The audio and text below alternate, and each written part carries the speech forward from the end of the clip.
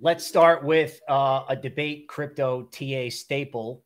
Uh, the bigger the base, the higher in the space. Dude, so I love it. i- i- i- if you look at the Bitcoin two day chart, did I pull this up right? Right here. Okay. You know, you're going to see Bitcoin in a base. It hasn't really done anything since June. Okay. And it's starting to pop its head out of the top of this base. Now, it's not fully there yet, but uh, it's percolating. Now, what goes up or down a certain way reverses in the same fashion.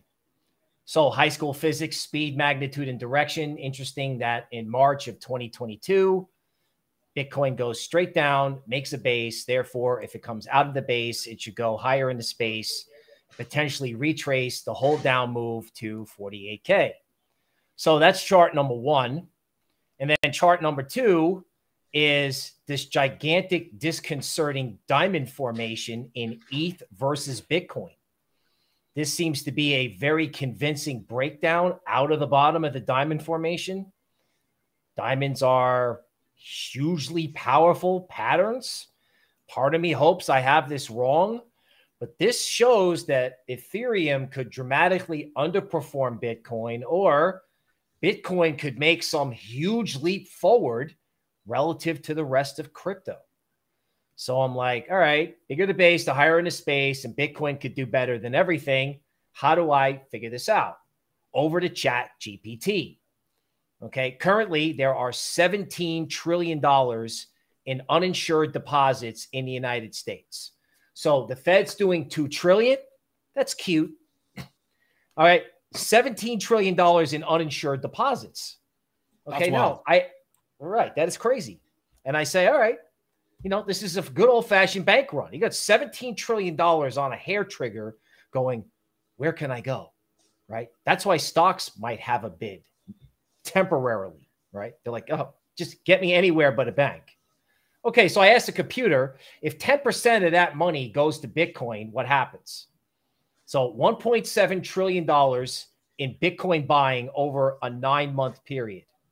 So ChatGPT, because it's a computer and it doesn't know any better, it says, all right, well, if the price is 24K and you need $1.7 trillion worth of it, that's 70 million Bitcoin. And I'm like, well, the computer knows. It's like, hey, there's only 21 million. And I bet only 10% of that is available for trading based on volume stats at Binance. Okay. So ChatGPT comes up with one upside target based on this. It says, all right, if everyone really buys, you get an absurd target of 264K.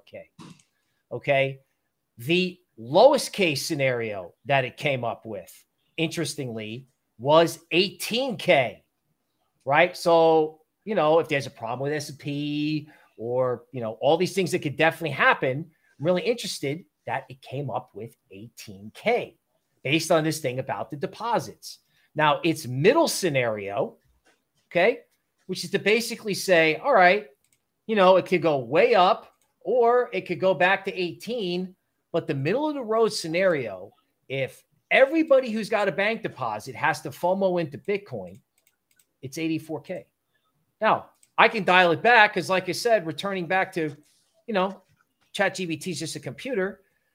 It's interesting, right? It thinks 84, and I got the bigger the base, the higher in the space to 48. So, okay, maybe, yeah, we're going to have consternation in the stock market for sure. But after you get that dip, right? After you get that flush in stocks, assuming it's not a calamity, I mean, there's a lot of money looking to chase Bitcoin. So if Bitcoin gets out of this range, man, the cat's going to be out of the bag. And that's how I came up with what I came up with.